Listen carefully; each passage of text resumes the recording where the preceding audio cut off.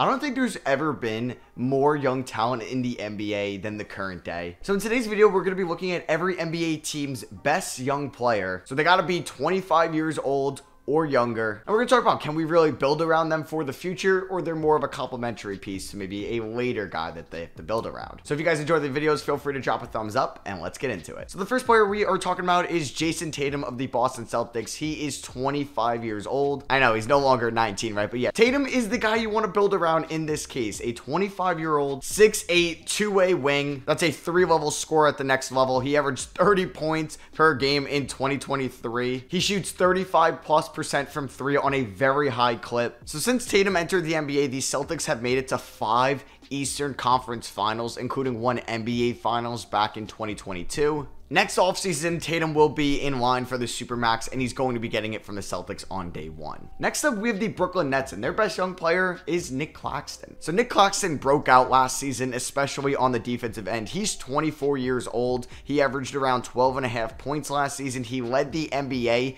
in field goal percentage, just above 70%. He's a really good shot blocker. He's a great rim protector. He's that floor general center that you want to build around in the future. The Nets will have a big decision to make make next offseason when he could be a free agent? Do you want to pay big time money to a center that can't space the floor. But then if they can get Claxton on a good bargain, or if he takes another step this year, especially on the offensive end, it could be justified. Staying in New York, we have the New York Knicks now, and their best young player is RJ Barrett, who's 23 years old. RJ has just so much discourse around the NBA community, I feel like. Some people think that he's still going to take that next step and could be somebody that the Knicks could build around, and then other people just think that he's just a glorified shot chucker. RJ's efficiency has definitely been been kind of his main problem over the last two seasons. He broke out in 2021 shooting 40% from three and 44% from the field, but both those field goal percentages dropped the following year. And while he did get his field goal percentage back up to 43% last season, his three point percentage dropped. So in a two year span, his three point percentage dropped from 40%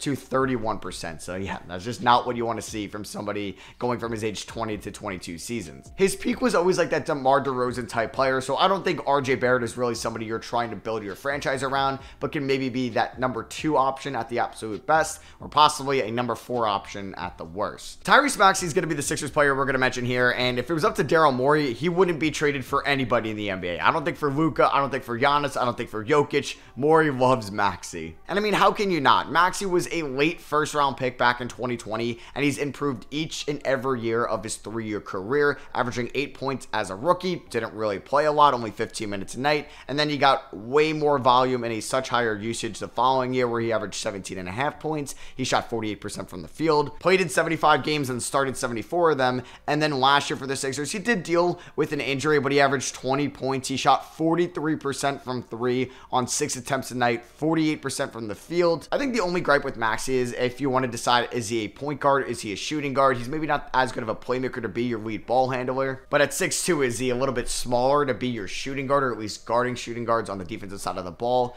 the area of probably where he needs to work on the most of his game. But yeah, I think Maxey is somebody you could definitely build around. And if the Sixers ever go into a full on rebuild, he's the guy they're keeping around. Heading up to Canada here, we have Scottie Barnes, the 2022 Rookie of the Year for the Toronto Raptors. Man, I feel like also Scottie Barnes has so much discourse in a way like fans think you can really build around him to be your guy, or he's really never going to develop those skills on the offensive end, at least in the scoring department. Because Barnes has not been an efficient jump shooter in the NBA. He shot shot 30% from three in his rookie year and then 28% from three last year. Also shot only 45% from the field. But what's encouraging is his ability to get better at the foul line. He got to the foul line a little bit more in year two. And while he did average the same amount of points in year one to year two, his assist went up. And that's what I think I'm excited the most about Scottie Barnes. If the Raptors experiment with him as the lead ball handler, as a potential point guard in 2024. And that's where we can decide where Scottie Barnes can be your franchise player. Man, the Chicago Bulls, Uh, they need a little bit more young talent. So their guy is Patrick Williams, who they took fourth overall back in 2020. And I'm just waiting for the Patrick Williams breakout year because we haven't gotten it yet. And a lot of people thought it was going to happen in 2022, but then he only ended up playing in 17 games. So people thought it was going to be in 2023, but yeah, it did not happen. Now, Patrick Williams is a plus defender, don't get me wrong, but I would like to see him keep developing on the offensive end. He averaged 10 points and four rebounds last year with 1.2 assists a night, but he's a very good free throw shooter for somebody at his size. He only only took eight shots a night last year. And with DeMar DeRozan, LaVine, and Vucevic coming back, I don't really expect that number to jump up too much in year four, which is a shame. So this is really a make or break year for Patrick Williams and the Chicago Bulls. There were some sketchy rumors this offseason with Darius Garland and how the Cavs may look to move him, which I think is just so dumb because Garland is one of the best young point guards in the NBA. And Garland has really come a long way. After watching him in his rookie season to what he is now, I've just seen so much development. Back in 2020 when he was a rookie, he was struggling so much at being efficient around the rim, and he's just gotten so much better in every type of way of his scoring. He shot 41% from three last season on six attempts a night. He shot 46% from the field on 16 attempts a night. He averaged 21 points and eight assists. He's 23 years old right now, and like I said before, he's one of the best young point guards in the NBA, and the Cavs have a gem here. For some reason, Cade Cunningham is like talked about as winning most improved player next year, which I think is a little bit silly because he was the number one overall pick, so he's supposed to improve and play well. But I'm just so excited to see Cade back after only seeing him play 12 games this past season. Because what Cade can do on the offensive end is just so special to watch as a playmaker, as a scorer inside. The one thing I hope he develops this season is a little bit more of a jump shot because he did shoot 31% from three in his rookie year, and in a very small sample size, he shot 27% from three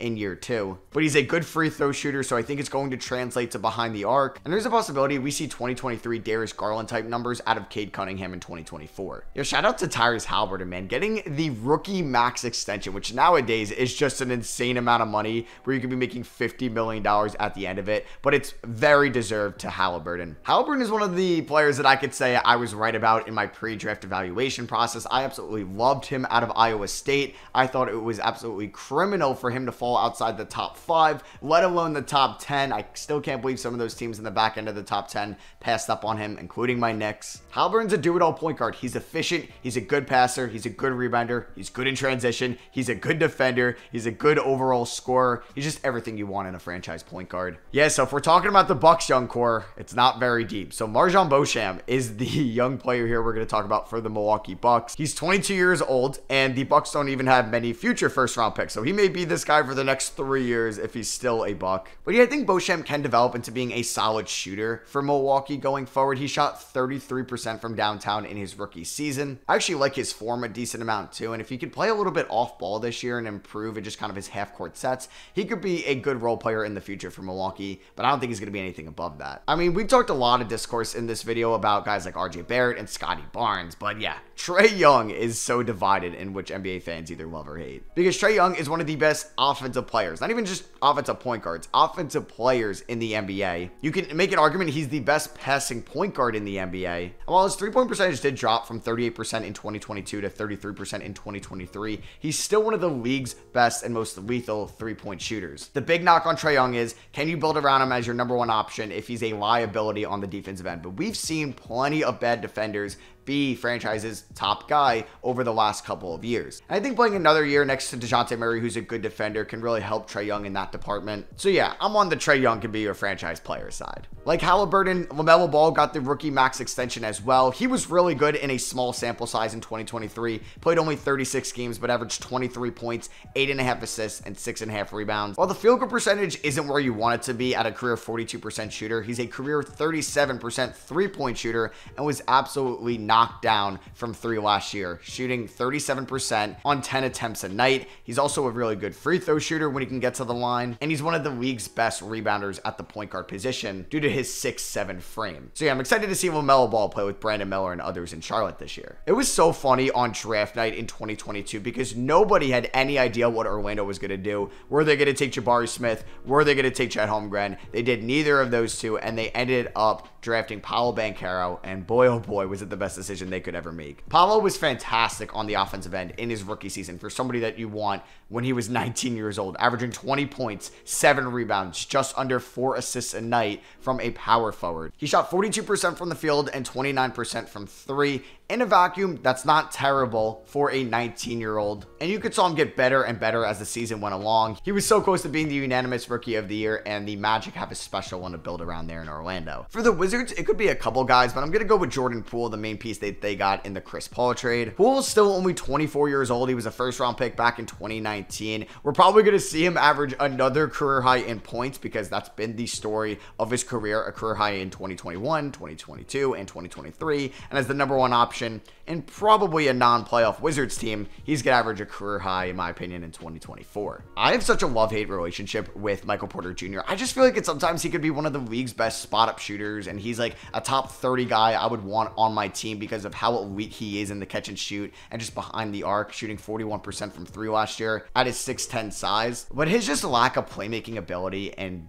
ball vision and basketball IQ can really hurt his value sometimes. But in Denver, he's just absolutely perfect. He's not the lead point guard because that's Jamal Murray. He's not the franchise's best player because that's Nikola Jokic. So he's the third option. He knows his role, and that's what he's good at. I don't know if anybody else on this list took a bigger jump next year just to NBA superstardom than Shai Gilgeous-Alexander. Shai's numbers last year were just absolutely ridiculous. 31 points per game, 5.5 assists, 4.8 rebounds, 1.6 steals, and oh yeah, he shot 51% from the field on 20 attempts a night. He shot 34% from three on about two and a half attempts a night. And yeah, he shot 90% from the line on 11 attempts a night. Shai was one of the league's not just best offensive players, just overall players last season. And he turns 25 in two days. So happy early birthday to Shai. All right, we got our first rookie on the list. And for Portland, it's going to be Scoot Henderson. I decided to choose him over Anthony Simons or Shaedon Sharpe because I think he has the highest potential out of the three. And I'm so happy that Portland is going to be trading Damian Lillard because it just makes so much more sense to really go on a full on rebuild,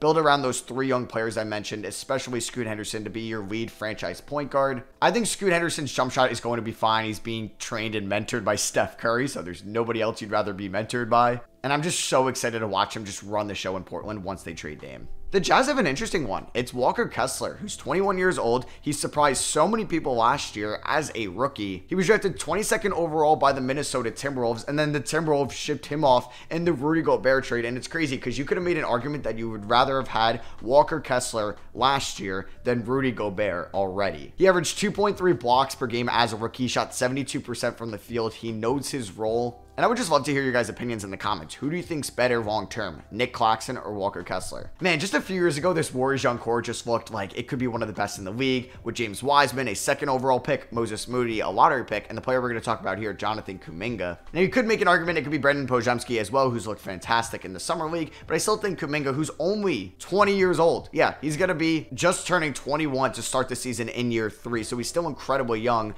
And I think, yeah, he has the potential to be that guy in Golden State. Will he ever be a number one option on a championship team? Probably not. But he has all the athleticism in the world. And with Draymond coming back in Golden State, maybe we're never going to see him shine in this current role he has right now, being behind Draymond. So maybe we need to wait to see Kuminga get traded to ever see his full potential, kind of like Patrick Williams. The Clippers' young core is also pretty rough. So we're going to be talking about Bones Hyland. Man, Bones really had a fall off last season because he looked fantastic as a rookie for Denver coming off the bench in the absence of Jamal Murray, who was hurt in his rookie year. He was the 26th overall pick and then got traded for a second round pick at last year's trade deadline. So that was a head scratcher, especially for a Nuggets team that was trying to win a championship. And you know what? They ended up still winning a championship. And Hyland only played in 14 games for the Clippers post deadline. He averaged around 10 points a night. He shot 40% from the field, did shoot 35% from three, and that's one of his strong suits because he's been a positive three point shooter so far in his career. I would like to see him take another step as a playmaker next year, and he's going to be learning under Russell Westbrook, so that's a positive. Funny enough, the Lakers' best young player is Austin Reaves, who is 25 years old, and he's going into year three. So Kuminga is going to be 21 going into year three, and Reaves is 25. It's just a funny note. But yeah, Reaves was the Lakers' third best player on a team that made the conference finals last year. He's a really positive playmaker